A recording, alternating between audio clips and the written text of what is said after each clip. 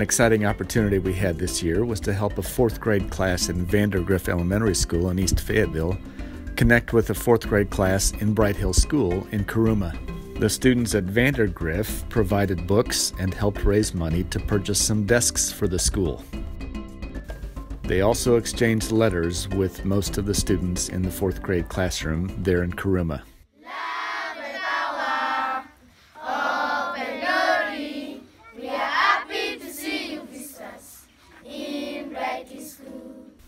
This has been a delightful learning experience for students there and here, broadening their understanding of the world and its people.